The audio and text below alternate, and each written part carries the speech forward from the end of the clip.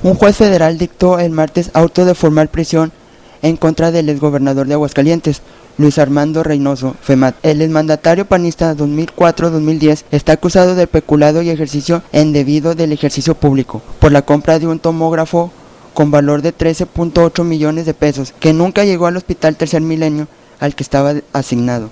La juez segundo del penal de Aguascalientes, Laura Elena Delgado, dictó la resolución judicial. El exmandatario panista podrá enfrentar su proceso en libertad, dado que obtuvo una suspensión provisional que impide que lo detengan. Reynoso Femat no se presentó ayer en el juzgado para conocer su situación jurídica, por lo que la juez Delgado le giró un citatorio para que asista. En la compra del tomógrafo, no entregó también esta aplicación al director general del Instituto de Salud del Estado, ICEA, Ventura Vilchis Huerta, detenido en agosto del 2012, y el exsecretario de Finanzas Raúl Cuadra García.